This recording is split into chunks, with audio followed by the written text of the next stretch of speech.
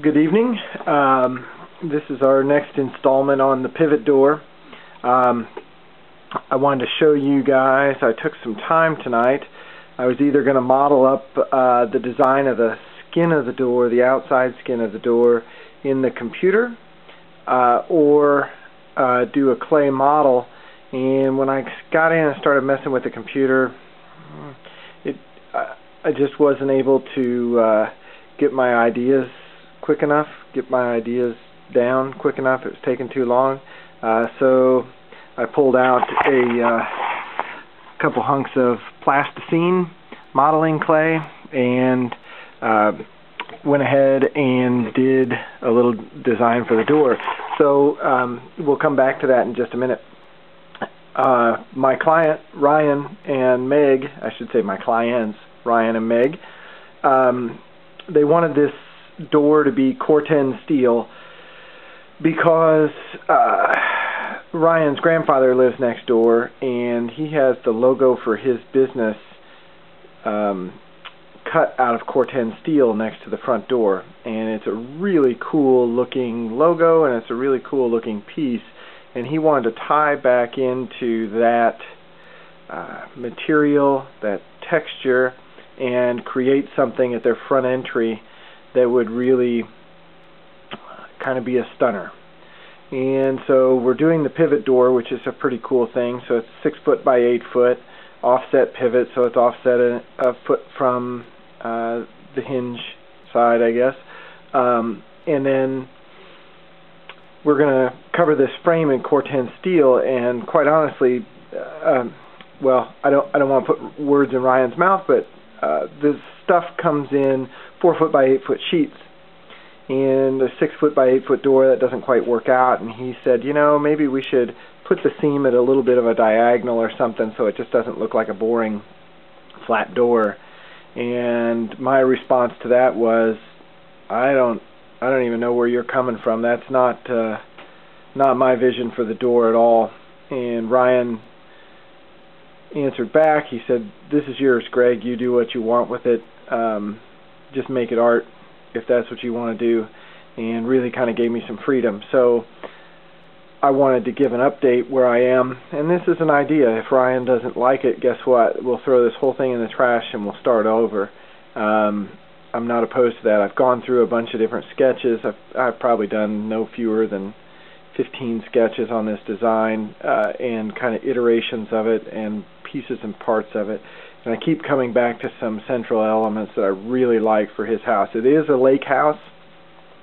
Uh, it faces south. Ryan is a swimmer, and uh, he's actually a hell of a swimmer. His family has a, a history of swimming uh, and prowess in the his, in the swimming, and uh, so the lake is a big part of their life. So I wanted to make the water and sun part of this door. The other requirement that Ryan gave me was to make the door timeless. So we can't have anything that 15 years from now somebody looks at the door and says, "Oh yeah, that was probably done in 2010 or 2011." You know, that's so 2000 kind of stuff.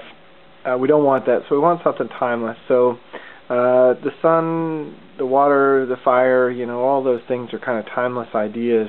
Uh, but I really wanted to pull together kind of my feeling of the house and kind of my impression of what I thought when I come up to the front door. The other piece is there's a big window on the back of the house that looks out onto the lake, and I wanted people to be able to see through the front door to the lake. So when someone comes up to the house, up to this door, uh, they kind of get that first impression, and then they see through to the see through the house to the lake, through the door, through the house to the lake, uh, and uh, kind of make that connection. There's also a nice window in the garage that does the same thing. There's there's a lot of tie back to the lake. So let's take a quick peek. And Ryan, if you don't like this, I apologize. I haven't run any of this by him. I just kind of took it on my own uh, to do it. And uh, again, we'll throw it in the trash. So don't don't even worry about that. Um, so here we go. Uh, this is the six foot wide, eight foot tall, and the black spots here are glass. So I don't know how well you guys can see some of this. The lighting always kind of stinks in my videos. Um, but the rays of the sun actually undulate coming at you, and then they get thicker. So if we can take a look, they actually get thicker. They're also tapered on the edges this way and that way, so they're going to widen, narrow, and widen and narrow. And three-dimensionally, I think that makes a really neat um, piece. And part of this whole thing is it's all going to be this Corten steel, and I work with metal all the time, and, and I really wanted to put my efforts forward to create something that most artists aren't going to be able to create because they either don't have the skill, don't have the tools, uh, or don't have the ability uh, to do something like this. And I'm not bragging about it. It's just this is what I do, and uh, this is my expression. So uh, these kind of undulate and come up, and then in the background we see sort of waves, and that's my impression of the water. And so we have kind of the sun coming over the water. The other piece of this was the glass. Um, there's four pieces of glass, and uh, I don't want to get into too much about Ryan and his family, but there's four members of the family, and I thought four pieces of glass would be a really cool thing. Um, this piece is about five and a half feet to the bottom, so you'd almost have to stand on your tiptoes. It's more to let light in than anything. Um, we may have to move that down a little bit so that you can see out of it. So this is kind of the face identifier. Then my thought is we've got the the kiddos, so they're growing up, but they can see through these windows. So these are the two windows for the kids, and uh, these are the two windows for Ryan and Meg. I'm not going to say this one's Ryan or this one's Meg. It's it's these are their windows, um, and I think for me that makes a really nice statement. It lets you see through the door. It doesn't let you. It's not like having a big piece of glass all over the door that just kind of lets you see everything. Uh, my guess is they'll approach the door from this side and uh, be able to see things. But anyway, then we have a really large handle over here, a push handle. So I haven't decided whether this is going to be stainless in the middle or if it's going to be mild steel that's powder coated. But the two ends are going to be Corten steel, so we're going to have kind of a juxtaposition, there's a nice word for you, of uh, clean, shiny material where people can grab.